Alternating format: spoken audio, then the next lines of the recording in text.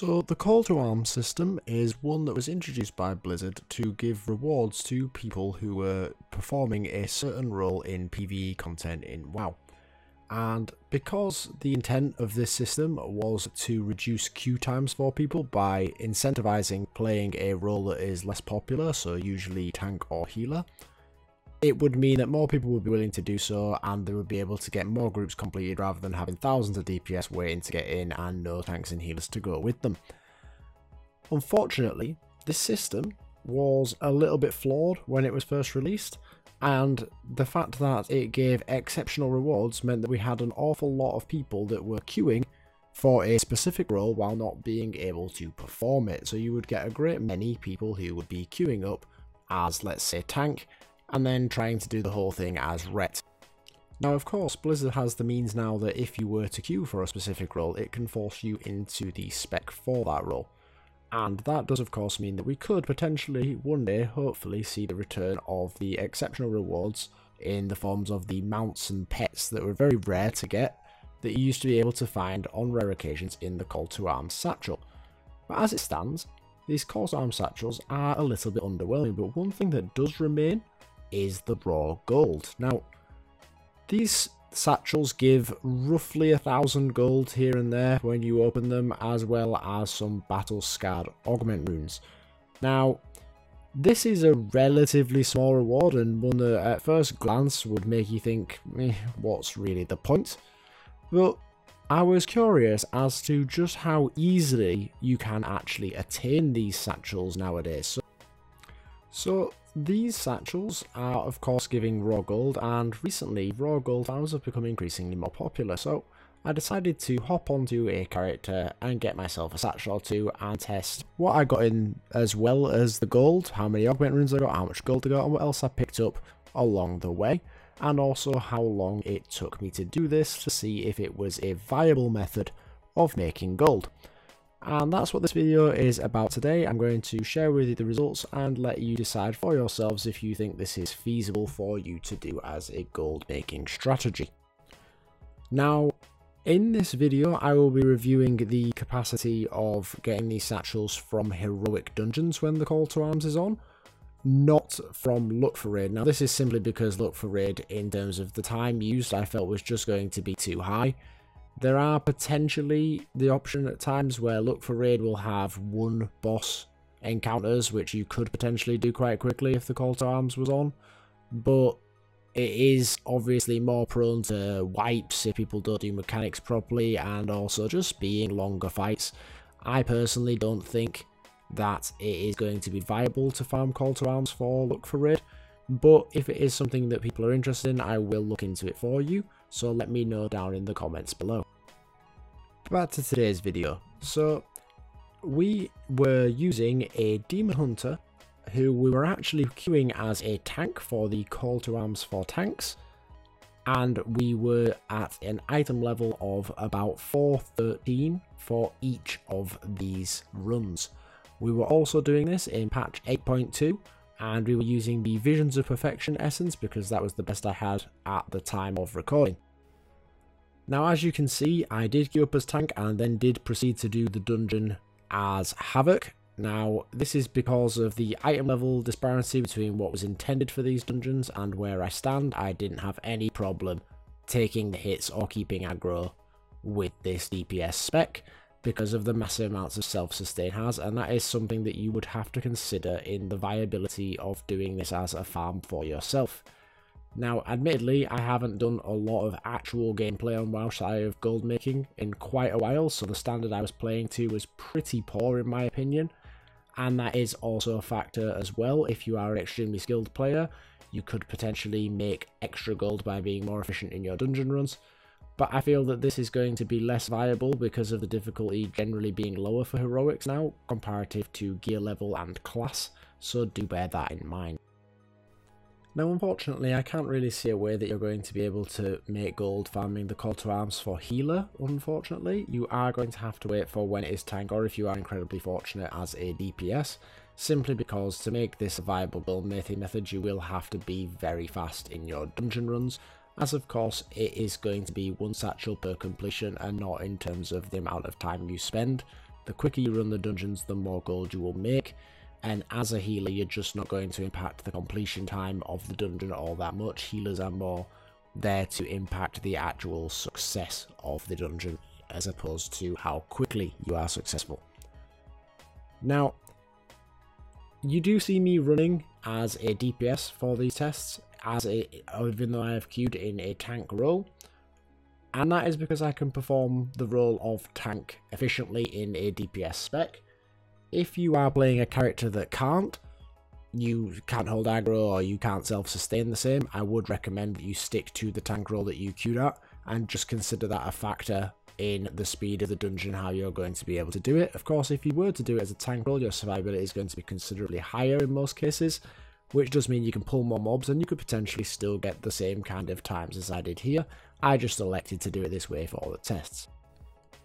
Now when it comes to my tests, I of course had to run random heroic dungeons which meant I was going to be placed with four random people of whatever gear level and skill proficiency that they may well have had and also a random dungeon on each occasion and of course for this there are certainly better dungeons to get than others.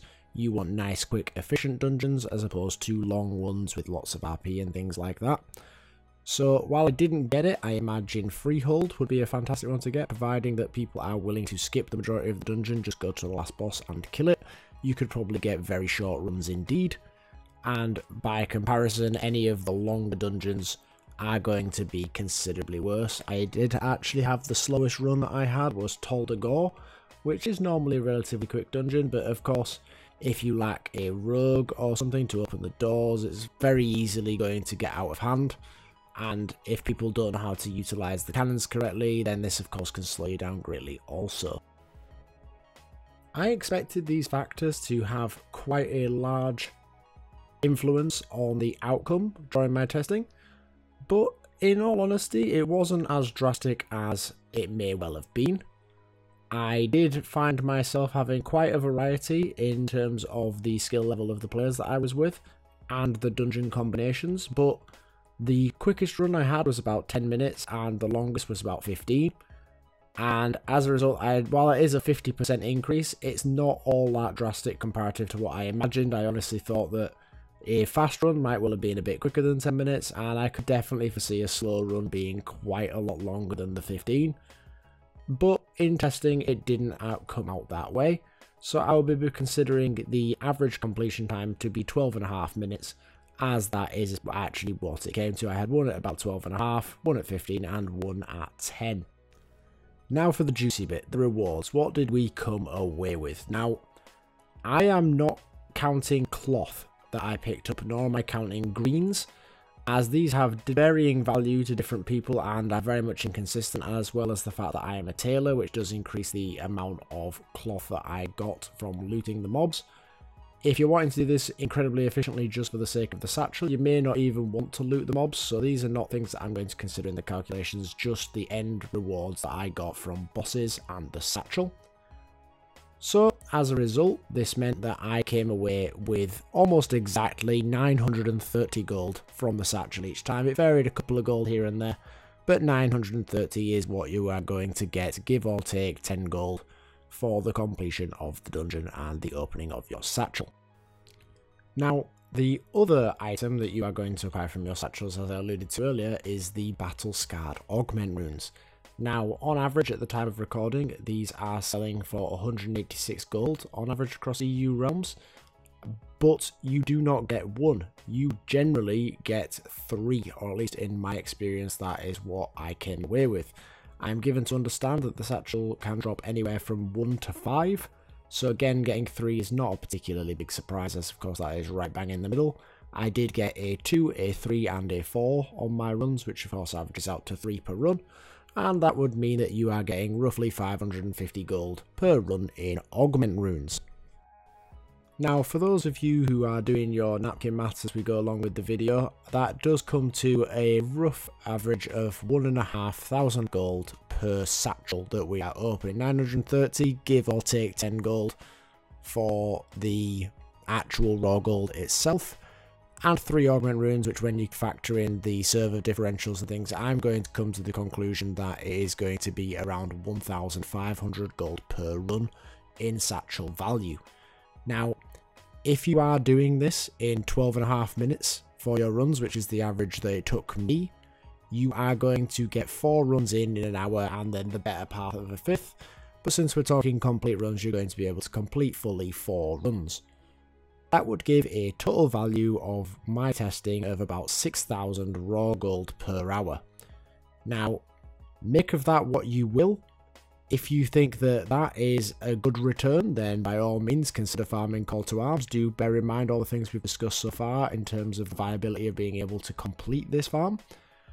And also do bear in mind that there is server variance when it comes to Battle Augment runes, as well as variance on the day of the week and the time of the day.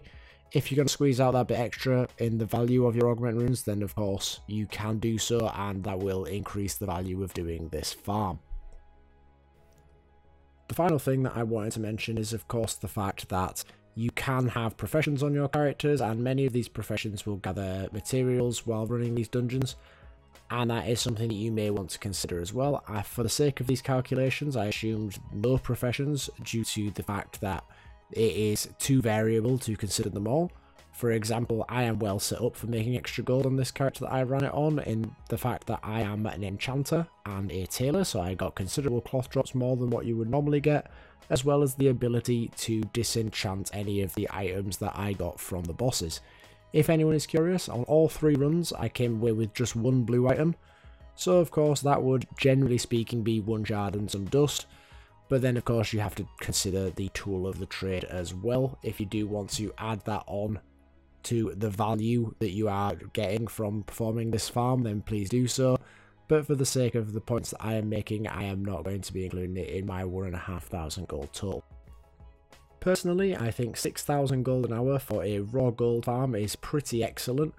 It's obviously not going to compete with farms where you are not acquiring raw gold, and they are generally a better use of your time. But if you are someone who is really big on raw gold or you have a need for it, particularly over getting items to sell on the auction house, then this is definitely a viable method to consider, providing you have the character to do so. But that's going to about wrap it up for me guys. I do hope that you enjoyed the video. If you did, please do consider liking. And if you do want to be kept up to date with any future videos that I brought out, please do consider subscribing to the channel. But for now, guys, that's going to about do it for me, and I hope to see you in the next one. Later.